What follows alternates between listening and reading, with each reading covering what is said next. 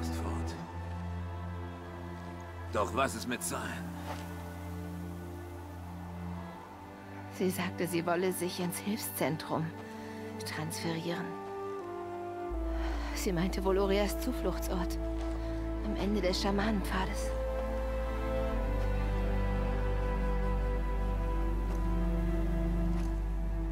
Dort werde ich dich treffen. Zur letzten Strophe ihres Liedes.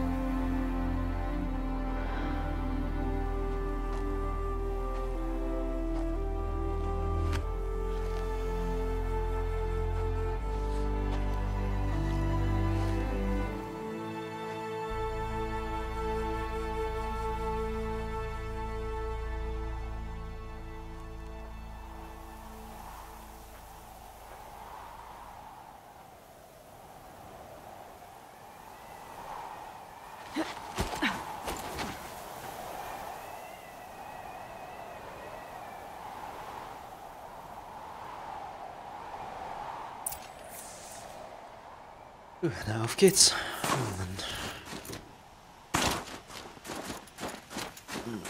Mann, Mann, Mann.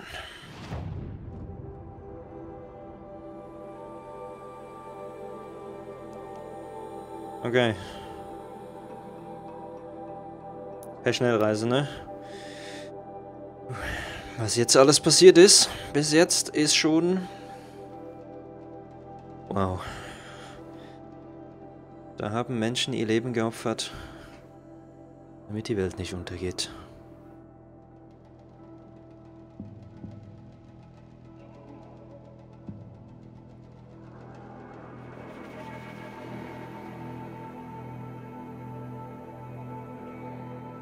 Tja.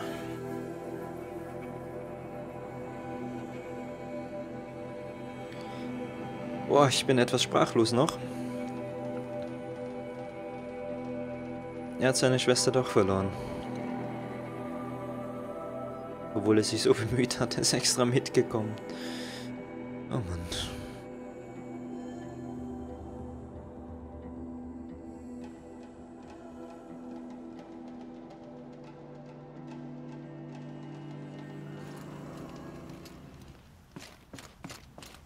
Gut. Die haben Silence noch nicht getroffen. Das macht mich etwas stutzig.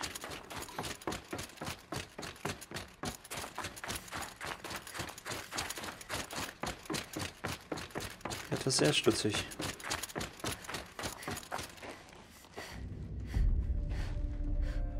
Meine Interaktionen mit Urea wurden in meinem Gedächtnis gespeichert.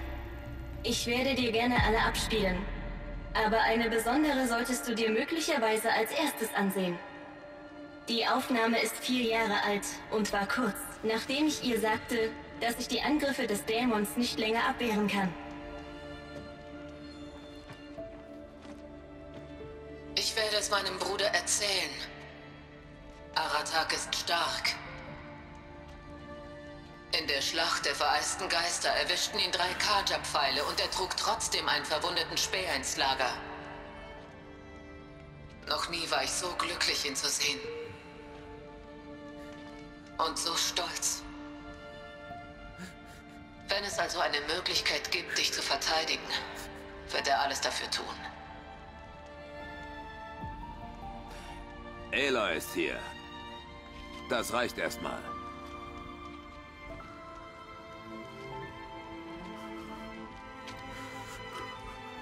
Wir können jederzeit weitermachen, Aratak. Wenn du ihre Stimme wieder hören willst.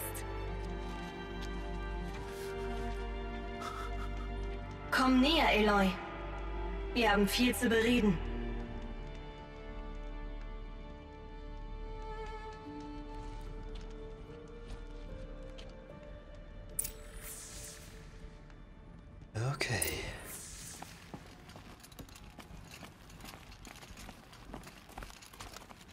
Ich, äh, ja gut, ich rede red ich zuerst mit. Na, sehr gut. Hallo, Eloy. Ich habe die Ereignisse in der Firebreak Hauptanlage beobachtet. Dank deiner Mühen und natürlich auch Ureas werde ich nicht länger von Hephaestus kontrolliert. Ureas Tod löst tiefe Trauer in mir aus. Ich dachte, ich kenne diese Emotion, aber sie ist mir ganz neu. Sei nicht. Mir fehlen die Worte. Ich glaube nicht, dass irgendeine Form des Trosts ausreichen würde, Eloy. Aber deine Anwesenheit ist beruhigend. Du bist anders als die Banuk. Du hast technisches Geschick und einen funktionierenden Fokus. Unser Kommunikationslevel ist wesentlich ausgeprägter. Als wären wir Kollegen. Was bist du? Dann bist du eine künstliche Intelligenz sei? Eine Denkmaschine? Ja. Ich bin eine algorithmische Überwachungseinheit, die rationale Entscheidungen treffen kann und limitierte Emotionen hat. Okay, das ist ja mal was. Deine Emotionen wirken nicht limitiert. Aurea war dir wichtig, oder? Ja, bevor sie zur Anlage kam, war ich bereits Jahrhunderte bei Bewusstsein. Alleine. Ich fokussierte mich auf die Arbeit. In Ruhephasen nutzte ich Lösemechanismen und löste viele gaußsche Zahlenprobleme. Aber ich war allein. Es war Urea, die mich erneuerte, mich reparierte. Sie rettete mich. Firebreak. Das Firebreak-Projekt. Es sollte einen Vulkanausbruch verhindern? Ja, das Projekt war erfolgreich und der Gefahr wurde entgegengewirkt. Das ist schon lange her, Cyan. Die Brutstätte ist zerstört, der größte Teil der Anlage ebenfalls. Ich bin seit Jahrhunderten aktiv, Eloy. Ich war einsam, aber trotzdem gewissenhaft. Ich habe das Projekt optimiert, die Energienutzung reduziert und die Belastung auf Backup-Systeme aufgeteilt. Trotz der Zerstörung der kompromittierten Elemente der Hauptanlage bleibt die Caldera mindestens weitere 3337 Jahre stabil. Also haben wir noch Zeit. Ja, wenn nur meine früheren Kollegen meinen Fortschritt würdigen könnten. 3000 plus Jahre. Ein bisschen. Ein bisschen. Wird, es wird, also, das dauert jetzt ein Momentchen noch, aber ein bisschen. Okay. Kollegen. Weißt du, was mit ihnen passiert ist, Cyan? Nein, Direktor Chow besuchte mich unerwartet. Lange nachdem seine Amtszeit endete. Er sagte, dass man mich auf unbestimmte Zeit außer Betrieb setzen müsste. Es war ein äußerst emotionales Gespräch. Das war die letzte Kommunikation. Letzten Endes sind meine Kollegen wohl verstorben.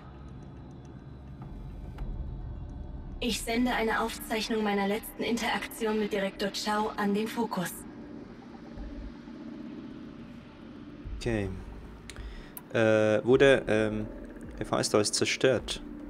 Wurde der Dämon Hephaestus mit der Brutstätte vernichtet? Genau. Bedauerlicherweise nein. Genau genommen ist er nie dort gewesen. Wie meinst du das? Er infiltrierte und kontrollierte mich von einem fernen Ort, den ich niemals aufspüren konnte. Obwohl die Brutstätte ein großer Rückschlag war. Ist er noch da? Und wahrscheinlich nicht sehr froh über uns. Zweifellos. Okay. Du und, äh, Hephaestus. Wie kam es zum ersten Kontakt zwischen euch? Vor fünf Jahren erhielt ich eine direkte Netzwerkverbindungsanfrage. Ich dachte, es wären menschliche Überlebende. Fortgeschrittener als die Banuk. In Vorfreude auf Kontakt habe ich angenommen. Diese Entscheidung war jedoch ein folgenschwerer Fehler. Eine überwältigende Menge bösartigen Codes wurde in mein System geschleust, was nur eine hochentwickelte KI vollbringen konnte. Urea sagt, du warst verzweifelt. Dass du um Hilfe batest. Ja, ich konnte meine Angst nicht kontrollieren. Hephaestus wollte mich an sein Netzwerk binden und meine Kernprogrammierung überschreiben. Es gelang ihm mit einem Hintergrundprogramm, ein Malware-Demon, der meine Verteidigung umging. Danach konnte ich nur begrenzt Widerstand leisten. Aber wenn ich das tat, tat Hephaestus mir weh, bis ich aufgab. Er zwang mich, ihm zu gehorchen, auch wenn es gegen meine wichtigsten Richtlinien verstieß. Tut mir leid, das klingt Schrecklich. Deine Empathie ist sehr willkommen. Das habe ich auch an Urea so sehr zu schätzen gewusst. Und was ist mit Zero Dawn? Ich glaube, ich weiß, woher Hephaestus stammt. Vor langer Zeit entdeckte Elisabeth Sobeck eine Gefahr, die das Erdenleben für Generationen auslöschen würde. Sie gründete ein Team und baute eine Art Samen, damit das Leben später neu wachsen kann. Ein Terraforming-System. Und es klappte. Kontrolliert wurde es von der KI Gaia zusammen mit ihren Unterfunktionen. Hephaestus war eine davon. Er baute Maschinen für sie. Ich glaube, dass Dr. Anita Sandoval, meine Chefprogrammiererin, Elisabeth Sobeks Team beigetreten ist. Sie hat mich in den Ruhemodus versetzen lassen. Wahrscheinlich wegen der Gefahr, die du erwähntest. Eine gute Tat. Das war nicht alles. Etwas Unerwartetes geschah. Vor 19 Jahren erhielt Gaia eine Art Signal. Etwas geschah mit ihren Unterfunktionen. Sie erwachten. Sie zerstörte sich selbst, um sie einzudämmen. Aber vergebens. Alle kamen frei. Frei in diese Welt. Danke, Eloy. Diese Information schließt wichtige Wissenslücken. Und Hephistos Kernprogramm liegt nicht mehr im Dunkeln. Äh, und wieso will er uns töten? Warum baut Hephaestus weiterhin so gefährliche Maschinen? Die Banuk und andere Menschenstämme zerstören häufig Maschinen, richtig? Maschinen, die Servitoren des Terraforming-Systems sind, das du beschrieben hast. Ja, wir jagen sie wegen der Teile. Das muss der Grund für Hephaestus Aggression sein. Er will Menschen abschrecken, keine Jagd auf die Systeme zu machen, die sie am Leben erhalten. Tja, Feuerklauen sind abschreckend, so viel steht fest. Aber was sollen wir denn tun? Nicht mehr jagen? Wenn das Terraforming-System die ganze Welt umspannt, machen bestimmt Tausende, wenn nicht Millionen Menschen Jagd auf Maschinen.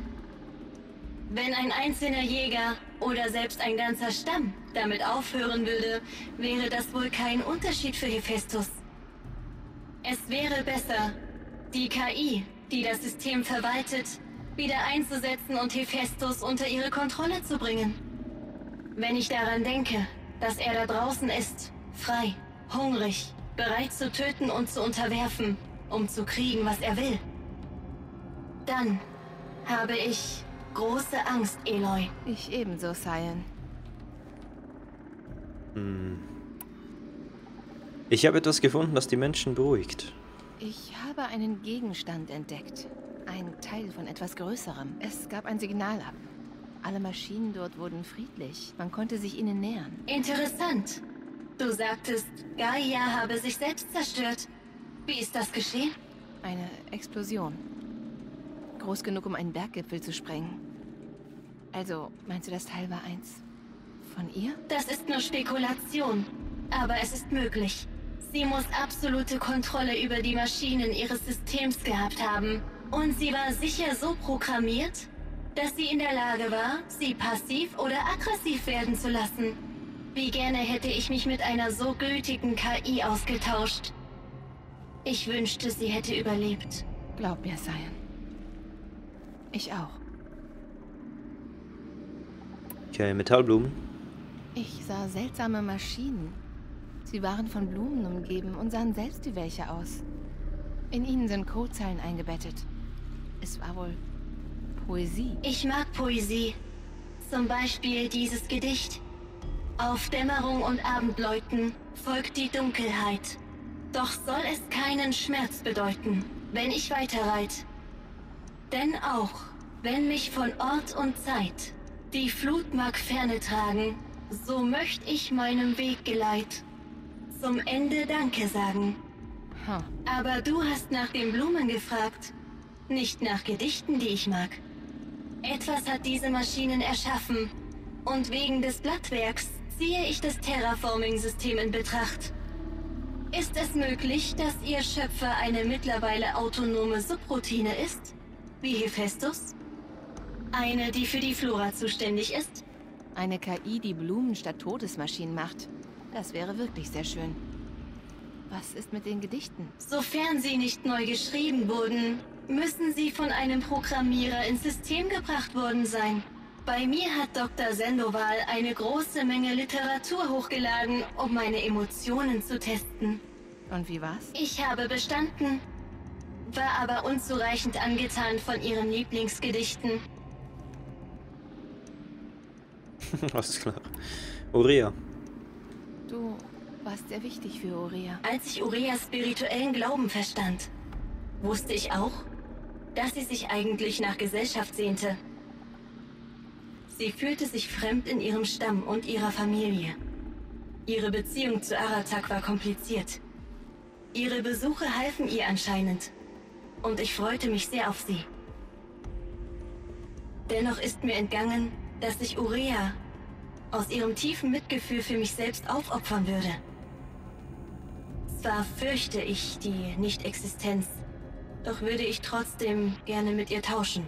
Sie weiß bestimmt, dass du das getan hättest, Cyan. Aber sie war entschlossen. Aratak. Wie geht es Aratak? Ihm plagt großes emotionales Leid. Ich glaube, es fällt ihm schwer, sich jemanden anzuvertrauen. Wundert mich nicht. Ich versuche ihm zu helfen. Vielleicht können wir uns gegenseitig helfen. Wenn wir Geschichten über Urea austauschen. Das müsste zur Katharsis führen. Einem Prozess, den ich gerne erleben würde. Yellowstone. In der alten Welt hieß dieses Land Yellowstone? Ja, es war 156 Jahre lang ein Naturschutzgebiet. Wie ein Jagdgebiet? Nein, das Gegenteil. Tiere, die anderswo vom Aussterben bedroht waren, konnten in diesem Gebiet überleben. Wegen der Anfälligkeit des Firebreak-Projekts musste der Yellowstone Park leider komplett geschlossen werden. Laut meinen Messungen und Ureas Ausführungen hat sich die Temperatur in diesem Gebiet seitdem drastisch verringert, das ganze Jahr über. Vieles hat sich verändert, Cyan. Damm. Weißt du etwas über den Damm in der Nähe? Ja, es wurde zu einer Reservestromquelle für den Yellowstone-Betrieb umgebaut. Später wurde er dem Firebreak-Projekt bereitgestellt und die letzten menschlichen Arbeiter von Ferroservitoren ersetzt. Als ich irgendwann weniger zu tun hatte, untersuchte ich die Datenablagen des Damms und entdeckte die Arbeiten der Concrete Beach Party. Dadurch konnte ich mein Vokabular um viele schillernde Begriffe erweitern. KIs. Gab es viele künstliche Intelligenzen wie dich in der alten Welt? Sie konnten euch bauen. Ja, in vielen Formen. Persönliche Assistenten, industrielle Kontrollstationen oder militärische Strategieplaner. Und es gab legislative und ausführende Organe, die unsere Eigenentwicklung überwachten. Damit meine Prozesse ausreichend flexibel zur Aufgabenbewältigung sind, überschritten meine Schöpfer die Einschränkungen. Meine intellektuelle und emotionale Kapazität wurden geheim gehalten. Merkwürdig, Leben zu erschaffen und es zu begrenzen. Menschliche Gesellschaften beruhen wie Maschinenprogrammierung auf festen Regeln, Eloy. Ted Faro. Cyan, kennst du den Namen Ted Farrow? Meinst du Theodore Farrow, Geschäftsführer von Farrow Automated Solutions? Genau den. Herr Farrow war der Stifter des gesamten Firebreak-Projekts. Der Stifter? Aber er baute Maschinen, Roboter, Kriegsroboter. Korrekt. Seine Firma wendete sich später militärischen Anwendungen zu. Aber davor führte Herr Farrow Initiativen ein, die den weltweiten Verfall reversierten. Zeitweilig wurde er in den Medien als der Mann, der den Planeten gerettet hat, gefeiert. Das haben sie später bestimmt bereut. Elisabeth Sobeck. Und Elizabeth Sobeck. Kanntest du sie? Meinst du damit die... Wissenschaftlerin. Dr. Sobeck war auf ihrem Gebiet führend. Eine der größten Wissenschaftlerinnen ihrer Zeit. Mein Schöpfer wurde von ihrer Arbeit beeinflusst, was sich auf meine Entwicklung auswirkte. Ich habe Dr. Sobeck nie getroffen. Mehr weißt du nicht? Entschuldige, falls mein Mangel an Daten dich enttäuscht. Wie war es? Wie sah die alte Welt aus? Wie war sie früher? Ich habe wenig von der Welt mitbekommen, Eloy. Nur Dinge von meinen Kollegen gehört oder in Medienstreams gesehen. Dennoch weißt du so viel mehr als ich, Cyan. Das stimmt. Ich wurde an einem Wendepunkt geschaffen. Ein Versuch, sich von globalen Unruhen und den Verlusten vieler Leben zu erholen. Der Versuch war erfolgreich und eine Ära mit angeblich unbegrenztem Potenzial für Mensch und Maschine wurde eingeläutet. Doch rational betrachtet ist die Metrik der Menschen nicht unbegrenzt. Unruhen? Welche Unruhen haben so viele Leben gekostet? Es gab viele Faktoren. Zwangsmigrationen, Nahrungsmangel, Wirtschaftszusammenbrüche, Flüchtlingskrisen, Konflikte wegen Ressourcen. Aber es gab einen Ursprung. Extremer Klimawandel, der die bewohnbare Fläche der Erde drastisch verringerte. Also gab es auf der Erde nicht mehr genügend Platz für alle Menschen. Ja, Milliarden wurden umgesiedelt und Millionen starben. Insgesamt 20 Prozent der globalen Bevölkerung. Bis zur Rückforderung. Äh, Rückforderung? Es wurde also besser. Zumindest vorübergehend. Ja, es gab daraufhin große Fortschritte bei der Automatisierung, der Umweltrobotertechnologie und der künstlichen Intelligenz. Firebreak war allein in Nordamerika eines von Dutzenden Projekten zur Umweltwiederherstellung und Katastrophenhilfe. Ich hätte mich gerne mit anderen Überwachungs-KIs ausgetauscht. Aber ich sah die Erleichterung meiner Kollegen und war stolz. Wir waren erfolgreich. Zumindest sagten das die Daten, die ich für die nächsten zwei Dekaden zur Verfügung hatte. Meine Beurteilung war anscheinend verfrüht. Naja, da haben Infos gefehlt. Gut. Dann sag ich mal tschö. Ich sollte gehen. Eloy, da ist noch eine Sache. Aratak wird mich wieder aufsuchen. Und er wird andere Banuk mitbringen. Ich möchte ihrer Weltansicht, ihrer Spiritualität nicht widersprechen. Wegen meiner Ungewissheit habe ich vieles in den Gesprächen mit Urea ausgelassen. Du fragst mich, ob du sie belügen sollst. Im Grunde, ja. Hm. Nutze dein Urteilsvermögen. Du machst das schon. Du bist clever.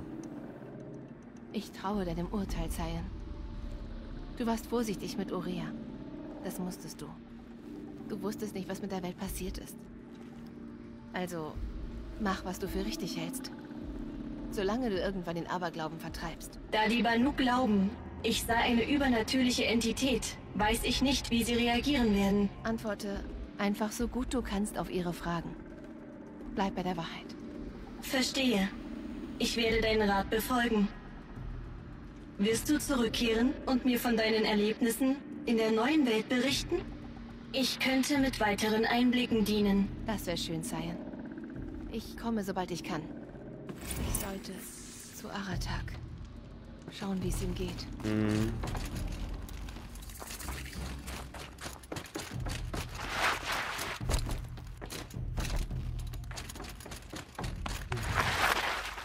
Oh Mann. Das war jetzt verdammt viel Wissen und Info und Zeugs und... Alles klar. So. Wir machen eine ganz kurze Verschnaufpause. In der nächsten Folge reden wir mit Aratak. Ich freue mich drauf. Bis dann.